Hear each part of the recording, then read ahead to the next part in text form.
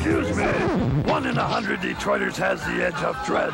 One in a hundred Detroiters gets direct discounts on albums, clothes, concert tickets, sports, movies, and even food. Now Dread through WRF presents the Gold Card, worth even more discounts at stores all over Detroit. Trade in your old card for gold.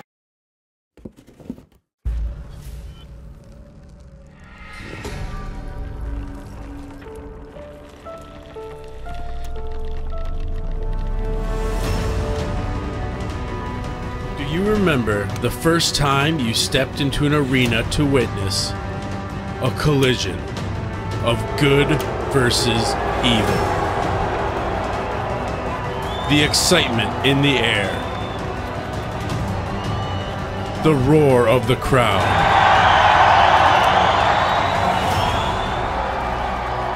And of course, the blood. It's time to relive those memories big time. A historical wrestling lesson taught by your professors, the legendary Terry Sullivan and Supermouth Dave Drason. RoX TV and International Big Time Wrestling present Big Time Memories. Hello, everybody. Welcome back to Big Time Memories. Terry Sullivan, Dave Drason, and today we're going to continue to speak about one of the greatest all time wrestlers, the world's most dangerous wrestler himself, Mr. William Fritz Afflis. And you're saying, who?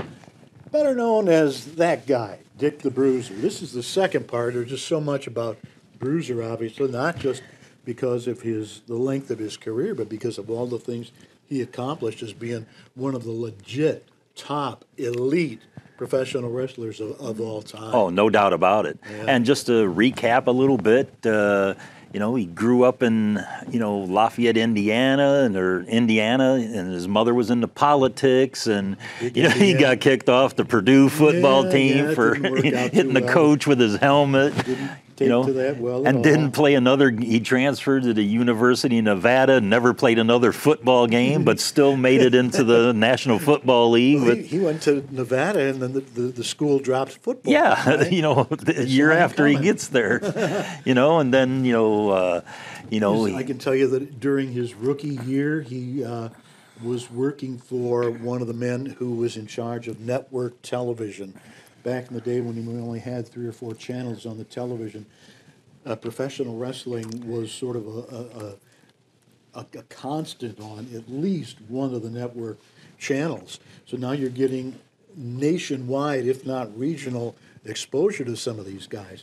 During Bruiser's rookie year, he worked for Fred Kohler, who was the promoter in Chicago and supplied talent for Detroit, Cincinnati, all throughout uh, other areas of Michigan and other states as well.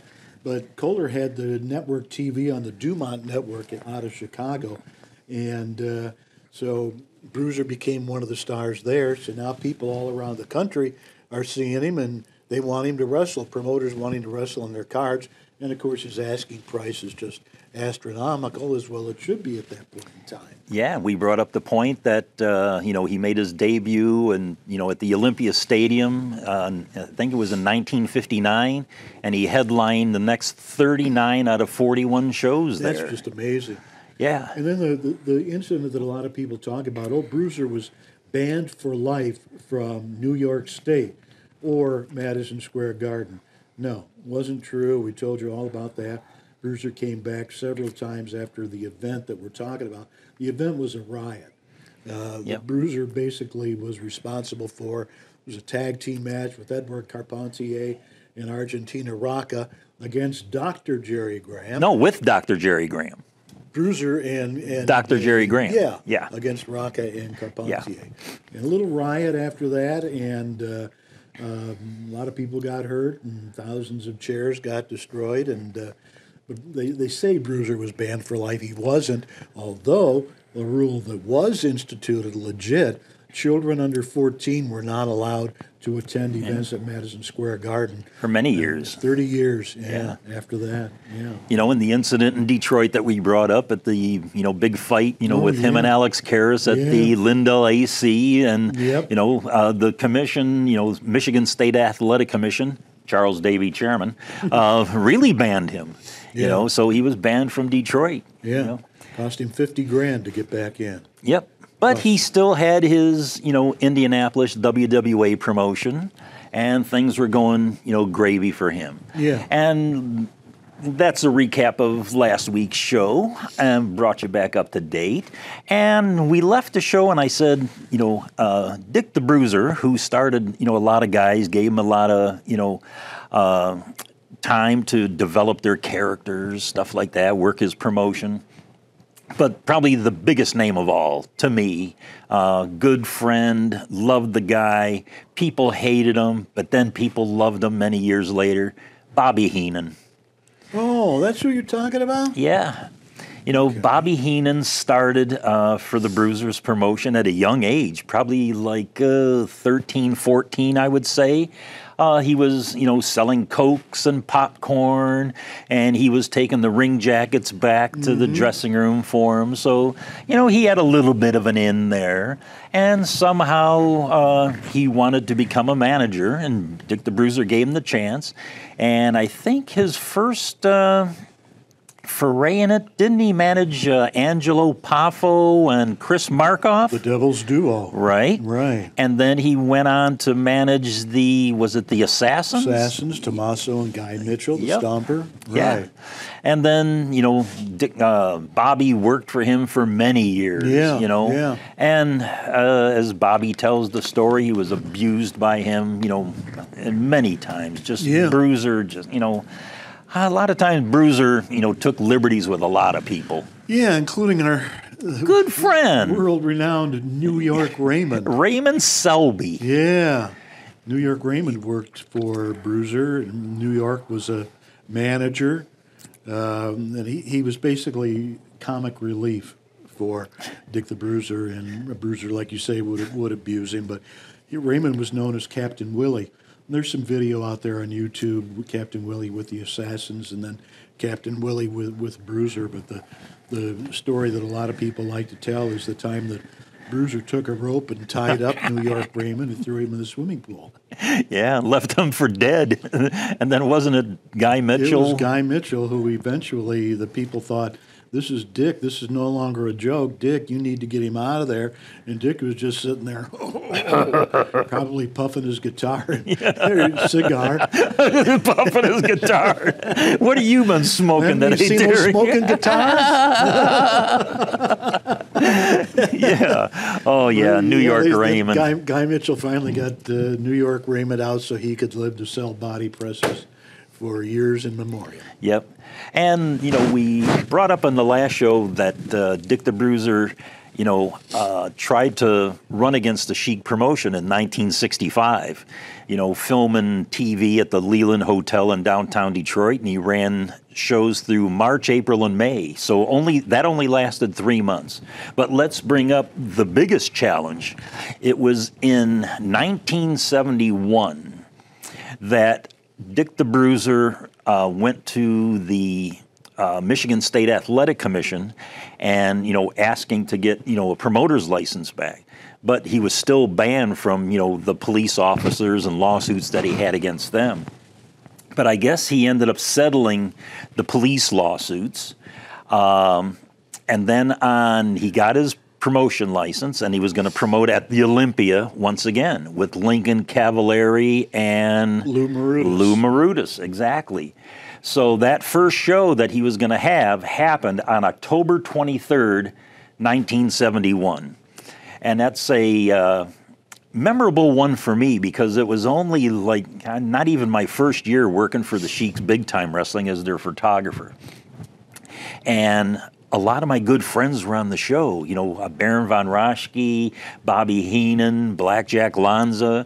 And it's like, oh my God, there's, there's some way I've got to go see my friends at this show. And it was a historic thing, Dick the Bruiser coming back to Detroit. Yeah. Um, you know, he was uh, had TV on Channel 9, you know, CKLW out of Windsor.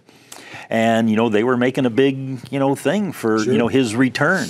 Yeah. And in return, you know, we know what happened. The Sheiks, you know, uh, brought in a lot of the NWA promoters' talent, you know, from all over the country, and you know, gonna go head to head. Let's go at it, you know. And Bruiser, you know, had his first show, drew okay, I guess. I guess he had maybe five, six thousand.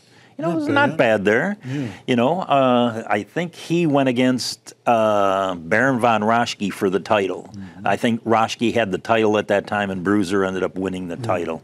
So he's drawing 5,000 at Olympia. Meanwhile, cross town is probably 9, 10, 11. Yeah, um, um, up until you know we had that big run of you know how many sellouts in Seven a row. consecutive sellouts, yeah. Boy, I remember those days. Oh, God, yeah. they were great. You know, so I did. You know, I ended up going to that first Bruiser show. You know, I talked to Lou Marutis and stuff, and he gave me a press pass, and I went there and you know, took photographs up at the ring. But unbeknownst to them, I was also sort of like a spy for Sheik. you know, you know, hey, you know, tell us, you know, how many people are there. Let us know, you know, what this and that and the other. So the, you know, with the, his blessing, I went there, you know, for that initial show, and that's the only show I ever went to there for them. But you know, he lasted uh, almost, uh, you Few years. two and a half, Yeah. three years there. You And know, I think they beat big time wrestling at least once, maybe twice, but not on a regular basis. No, maybe one time that they did beat him. Remember, I think there was a you know because the Sheik was running weekly at that time, Yeah. and he would make sure that he ran against you know the Bruiser show, and I think just because you know I'll say like a year prior you had to book Cobo, so the Sheik would book every two weeks, so he had those dates locked up. And when Bruiser would run a show on one of the nights that the Sheik wasn't running, well, Sheik would, you know, ask Cobo, you know, is this date open? And he always ran against him. If he didn't get Cobo, he ran against him at uh, the state fairgrounds.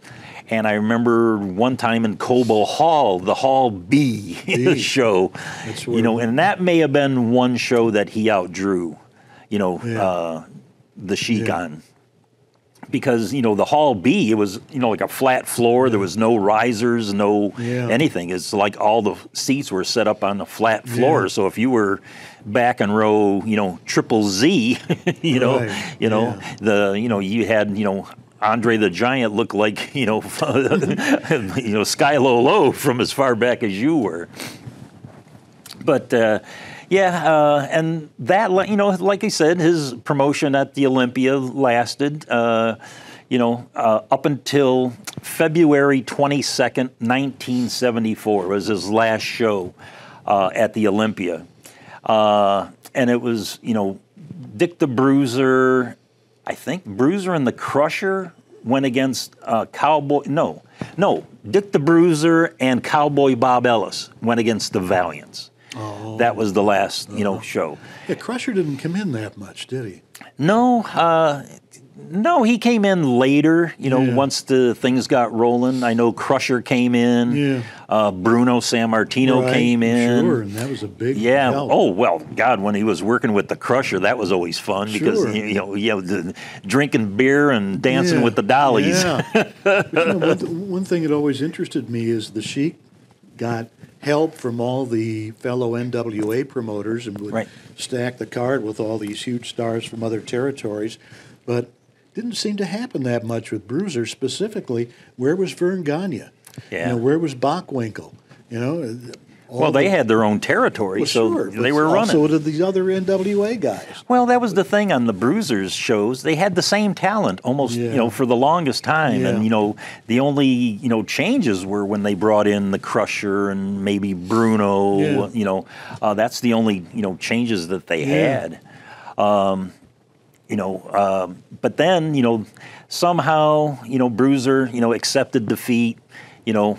Somehow I wasn't there. I, were, do you have any information on you know how they settled? You know, No, other than part of the settlement was the Sheik would run some shows at Olympia. yeah. Maybe it was to finish out whatever Bruiser had already contracted for. Um, but other than that, it was just uh, the Sheik would do Bruiser Sheik against Bruiser matches in Detroit, and Sheik would go to Indianapolis and Yep. wrestle Bruiser there. He also wrestled him in Fort Wayne, another Bruiser city, but that was it. I think they each went back and forth, you know, three or four matches maybe in each place. Yeah.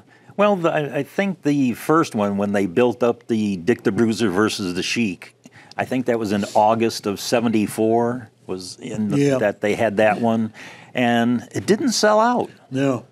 You know, and I, you know, you would think Sheik versus Dick the Bruiser. Boy, that hasn't happened in how many years in Detroit? That's Uh, what they were thinking. Yeah. Uh, but I think it was because of the Olympia itself. In a bad neighborhood, you know, back at that time, even though they had free, plenty of free lighted parking in the back, it's like, you know, the security in that parking lot wasn't too good either. People drive by and say, "Oh, free cars. Let's go take one." Yeah. so yeah, you know they you know had their you know couple bouts at Cobo, and then they had the cage match there, and you know they drew good at Cobo. They drew well, Yeah. but nowhere near what they expected. To. No, not at all.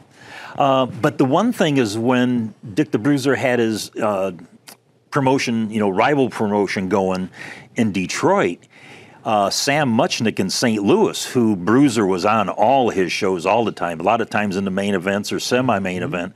Uh, Sam Muchnick being a you know NWA member, you know, banned Bruiser from working in St. Louis. Not willingly. Not willingly, yeah, because I mean, Bruiser was money to him there, Yeah. and they were good friends too. Oh, sure. Yeah. Bruiser had an uh, enormously successful run in St. Louis Yeah. for, for years and years, if not a couple of decades. Yep. I mean, he was in and out of the main events.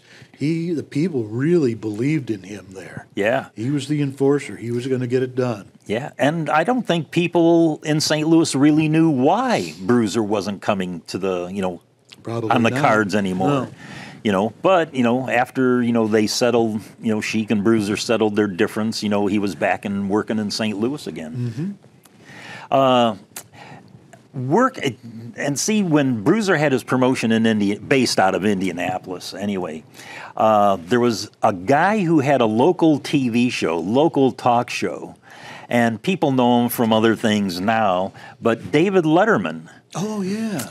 you know, had a independent little TV show in 1980 in was- Indianapolis. It was uh, that one was NBC. Yeah. He was on the network. Yeah. He was a morning show. right, exactly. Stiffed. yep. And, you know, he liked wrestling and Dick the Bruiser being local, he brought Dick the Bruiser in on his TV show. Yeah.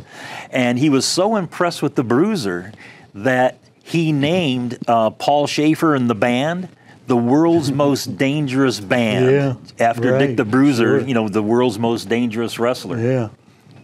And, you know, uh, God, he, you know, starting, you know, in the 50s, he just had such a great career, you know, everywhere he went. You know, I mean, he was champion in Detroit and Indianapolis, of course. Uh, his, you know, big, you know, run in L.A., you know, oh, Japan. Mercy sake, he you know worked Japan, you know him and the Crusher, you know just you know riots, you know, but a riot in Japan is like Yeah. people you know standing up and say, hey, you know that's a riot, because people in Japan at their shows they're very they were very polite. You know, if they liked something in the ring, they'd applaud. Mm-hmm. You know, they you know weren't getting up and you know yelling and screaming. That just wasn't you know their thing. But with Dick the Bruiser there, and I mean he's brawling outside the ring and stuff. You know, fans just sitting there, you know, patiently watching it. And, you know, Mm-hmm. and that would have been you know a start of a riot anywhere Yeah. in the country sure. here Yeah. and he retired uh, February 25th, 1989. Uh, in Muncie, Indiana, he had his last match against the Golden Lion. Oh. Now, I think the Golden Lion wasn't that to be his future son-in-law. I think his name was Tim. Ra- Tim Rapogel. Yeah. Rapogel. Yeah, was who- the Golden Lion. Yeah, I think he was one of the sons-in-laws. yeah, but uh, yeah. The, so the Golden Lion. Um, And he's the guy today, Now- even who's Dick the Bruiser Jr. Dick the Bruiser Jr. Yeah. Yeah. You know, good 90 good guy, good guy Dick the though. Bruiser. Yeah, but Dick the Bruiser also had a son, Carl, Right. Yeah. who, who wrestled. Uh, As Leroy Redbone. I, don't- I thought, boy, you could have come up with a better name, you know, because when I saw that name and you know his son wrestling, I I immediately thought of Leon Redbone. Yeah, you know the one hit yeah, one. yeah. Wasn't he a one hit wonder? Oh no, he was around for quite a while. He Come and get your nub or something like that. his one song. But uh, and, and and Leroy didn't look a thing like Bruiser. No, Didn't look like him at all. Yeah, and we're talking about you know Dick the Bruiser Jr., uh, Tim Merpogel, uh, but also Dick the Bruiser's son-in-law's you know uh, Spike Huber, Right. You know, really good guy. What a great worker he was. Um, and then Scott Romer. Yep. Scott Romer, he worked as a manager. Saul Creechman, was it? Yep. Yeah. You know, no relation or anything, you know, to Eddie Creatchman, No, you know, who managed the Sheik and, you know, Abdullah the Butcher and so many others. But, you know, uh, three wrestling, you know, related son in laws for Dick the Bruiser. Cuts the talent fees quite a bit. yeah. Well, if they got any payoffs. That's right. yeah. But then I remember in 1982, uh, we had our WFIA convention in Indianapolis. You know, with Dick the Bruisers, you know, he welcomed us there, uh, you know, gave us, you know, access to his talent and stuff. And it's like he showed up to our banquet, him, Guy Mitchell was there, I think Frankie Lane was there. Uh, who was the one guy? Bob Boyer. Oh yeah. Bob Bobby Boyer worked. Eagle? Bobby Bold Eagle, yeah. Yeah. he was there. Uh, a couple other guys too. But you know, at that convention, uh, Dick the Bruiser was awarded uh, Wrestler of the Year. No kidding. Yeah. Wow. And prior, you know, to the uh, convention of that, you know, we I was there, you know, because I was on the board of directors. Uh, me, Don Wilson, and you know, a few others. You know, we get there earlier in the week to set things up and get things going. Uh, but Sam Muchnick was there, and we had to go to Dick the Bruiser's house. I guess Muchnick and him had to talk about something or other, you know. And, you know, myself, Sam Muchnick, Don Wilson, Judy Wilson, you know, we go to Bruiser's house. So we show up, and Dick the Bruiser's outside in his pool, you know, so naked. he, he was swimming naked. so it's like, you know, we walk in and it's like, you know, uh, you know, us guys didn't care. Maybe Muchnick did, but Judy Wilson there. It's like, you know, he grabbed a towel and put that around him. and it's like, then I hear from the roof, hey, Dave, how you doing? It's like, doing work on Bruiser's roof. His son-in-law is Spike Huber.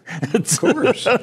And I, I may have a picture too that I can share. I think I have a picture of him doing something up Yeah. on the roof. I took a picture of him. Well, the pool was was basically the office during warmer weather. That's what I've heard from so many people. Is that's where he would do business. He would plop there his cigars and his beer and Wilbur Snyder, and they do business. Yeah. Well, you know, he had the lounge chair and all that other kind of stuff back there, and he was always into tanning. Yeah. You know, you got to maintain that tan. Did he have a big house?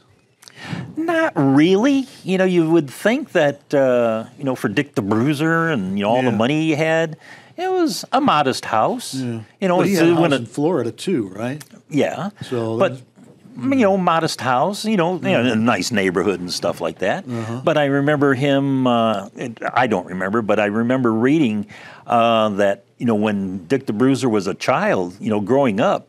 I can't remember. It might have been in Lafayette, Indiana, his, because his parents were, you know, pretty well to do. They had the biggest house in the city. Oh wow! You know, so I can imagine, you know, an old Victorian house that you know he lived in, and you know when he was young. So, but it was nothing like the one he had in Indianapolis that you know I went to. It was probably rarely there, so maybe. But I did, sense. I did see a couple of floating pennants and things like that. I think New York Raymond must have been in that pool at one time or another.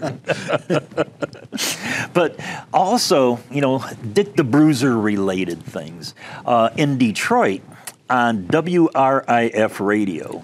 You know, back in the eighties. Baby. You know, it would have been yeah, Arthur Penhallow. Arthur P. Yeah, but uh, there was a guy, Jim Johnson had a partner, George Baier, who was the comic, you know, relief voice on the man. show. Yeah. Yeah, the voice guy. And he did a Dick the Bruiser imitation. You know, and you know it became really big. You know, Yeah. people just loved to you know hear him on the radio anytime Dick the Bruiser, and he did comic stuff too, Yeah. so made made Bruiser look like an idiot Yeah, sometimes, or, you know, of. a jokester, and Yeah. but it was really popular in Yeah. Detroit, and everybody was imitating it, you know, which I did too. And they did commercials with Yeah. the real Dick the Bruiser. Exactly, and I I have a picture of that too, Yeah. a poster that I Uh-huh. still have uh, with Dick the Bruiser promoting the WF. I think he had the WIF shirt on, and you know he's posing, and Yeah. I think I've got a picture of that to show you people. And but he made his last in-ring appearance. Uh, even though he retired, you know, before in 1989, uh, but he his last in-ring appearance was on December 16th, 1990, in St. Louis at the Kiel Auditorium, and he was a referee uh, in a match with uh, Sting versus the Black Scorpion you know, who, you know, you didn't think, you know, much of, you know, who the Black Scorpion is. But it turned out that, you know, Sting won the match and the Black Scorpion was unmasked. And it was Ric Flair. Oh. You know, I was really shocked. I didn't know Ric Flair worked under a mask at any time. But also, you know, Dick the Bruiser, you know, in his hometown, you know, uh, just, you know, he always gave back. Yeah. You know, he was big uh, with Oh, the yeah, kids, with yeah. the kids. Lots of hospital visits and things like that. Yeah, he worked a lot of Shriner uh, benefits, you know, with Uh-huh. the kids. And I remember, I think I might have a picture too of a bumper sticker that he'd always pass out, and you were a bruiser buddy. Oh yeah, right. Yep, the Bruiser Yeah. Buddy stickers. Yeah. And uh, he ended up passing away, uh, unfortunately, on November 10th, 1991. And I think he, you know, uh, died uh, while working out. Yeah, he was lifting weights. And he ruptured a blood vessel or, something in in his his neck. esophagus. Oh, Ew. yeah. And, you know, great career and stuff, lasted Well, till you know, Dave, you, you, just when you think you've covered almost everything, what? Bruiser Bedlam. Oh my lord, how could I forget that? Many people well, have. yeah. Well, you know, I wasn't involved in Bruiser Bedlam, Oh. uh, but you were. I you know, was, tell, tell yeah. us, tell us about. And you know, there's another thing he did too. Remember when he did uh, co-commentary for Glow, the gorgeous Oh, ladies of wrestling, with David McLane? See, and I first found out about the Bruiser Bedlam thing, and I was basically out of the you know business at that time. But they ran shows at the Premier Center in Sterling Heights, Michigan, Right. uh, and not too far because I was living in Sterling Heights at that time. Uh, but prior to Bruiser Bedlam coming in, Ricky Cortez was running shows at the Premier Center, Oh, really? and it was sort of uh, how can we say run by. Uh, eh, mafia or you know mafioso or you know say Castronosa or you know yeah because you know Premier Center they had uh, you know bring in Dean Martin Frank Sinatra all these big Sure. name acts you know and you know big name Dick the Bruiser Bruiser Yeah. Bedlam tell me about it Well, it was uh, an, an idea that some money people, some people with money had to capitalize on Bruiser's fame in Detroit, not only from the WRIF exposure, but also from a few years before. It was about a dozen years had gone by, 10 years maybe, since Bruiser's last time in Detroit against the Sheik. And um, anyway, they wanted to do wrestling. They wanted wrestling for PASS TV. They wanted a wrestling show, and that wasn't a universally popular decision at PASS. You know, some of the people considered that uh, wrestling was nowhere near a legitimate sport and it was very much beneath them. And for those of us on the front lines at the Premier Center, that's pretty much the way we were treated by the lovely PASS staff. Oh. Not so much the camera people and the audio people, but the the producers and the director and everything. And I can always remember one time, they they Bruiser and I were out getting ready to do the opening for a show, and I said, "What do you want, 30 or 60?" Meaning 30 seconds or 60 seconds. It was just a rundown of what was going to come up on that day's show, and we couldn't get an answer. And are you guys ready? Well, as soon as we find out if we're going to get a th- if you want a 30 or a 60. And this went on for like three or four times, and I was starting to get hot. I really was. And I said to Bruiser, I said, F this, let's go. And we walked off the set. Wow. Now, who, you know, I know you were the TV commentator for him, but uh, even though it was called Bruiser Bedlam, Bruiser wasn't wrestling at that time. Not on that program. They did not want him to wrestle because of his age. Uh, he was wrestling, though, in the places where that TV show aired, the regular, you know, Detroit at the arena shots, the non TV shots, Okay. Toledo, Indianapolis, Fort Wayne. He was still wrestling. But after we walked off the set, you'd be amazed at how quickly they came up with, yeah, let's do a minute. Okay, thank you very much. Okay. Pretty Now- simple, right? So, was Bruiser the promoter of Bruiser Bedlam? Not or really, he was no. just a name? Just the name. The, the, the, the guy who was really doing the negotiation with Pass was Dr. Jerry Graham Jr. Okay. Uh, Jerry, Chris Carter, Gary Warrenchak were the ones who did most, if not all, of the legwork uh, the day of, as well as leading up to the, the various shows. Now, some of the guys on that were on Bruiser Bedlam, I mean, they went on to great careers, but weren't the Steiner brothers? Just Scotty. Scott was on uh, very early in his career. Muhammad Jihad Saad, I mentioned. Chris Carter. Uh, we had Cowboy Rex Bodie. Cousin Junior, remember him from the Yeah. WWE? Lanny Keene, he came in. Nice guy. El Bracero was there. Fred Curry. Bobo Brazil showed up, but whoops, Bobo's too old. We don't want him to wrestle. So they had they had Bobo be a manager, um, and I, I don't think Bobo came back. uh, Flying Fred Curry worked a, a shot or Wow. two. Uh, Sweet Daddy Malcolm Monroe. I don't know, remember if he was no money or or Sweet Daddy at that point in time, but he came in and. Uh, Let's see, uh, uh, Terry Tyler and the Polynesian Wild Man and Prince Mama Mohammed. Uh, yeah, it was quite Calypso a, Jim? Calypso, yeah, sure, you know, absolutely. Or Bobo? Brazil Jr., as you know he's known these days. Yeah, he was there, and um, then several others. Yeah, it was a nice little promotion. Good bunch of guys. Well, you know, it's like you know Bobo Brazil Jr. Now, you had uh, Dick the Bruiser Jr. Now. Wouldn't it be great if somebody came out as the Sheik Jr. Besides Eddie Jr. it's like you know, uh, but yeah, wow, Dick the Bruiser, Yeah. a legend. People ask me about him all the time. What was he like? And you know, honest to gosh, I even though you saw us together on television all the time, I rarely saw him other than when we were on camera. He came in, had his dressing room, and I didn't usually go back there because I just didn't get off hanging out in men's dressing rooms, you know. So I'd stay sort of by myself, and uh, okay, it's time to cut promos. All right, I'd come in one door, Bruiser'd come in the other. We do the thing, and away we'd go. Wow. Now he was a he was a quite a piece of work as a commentator, a co-commentator. It was very difficult for me to get him to talk, and I I, I don't discount the fact that maybe it was me. Maybe I wasn't feeding him the type of line or the type of a, a, a, a cue or whatever you might call it that gave him something to, to come back to me with. Because I would say, well, what do you think of that, Dick? And crickets. Yeah, yeah, he was he, he wasn't that great at commentary. You Not know. that great, but he, he could be when he wanted to be. And, and as we went on, he got to loosen up a little bit because I, I would every now and then, you know, make fun of, uh, of somebody or laugh at something. And then, because he was all about playing it straight initially, but then he had his little pet things that he'd start to get, and he started to have a little more fun with it.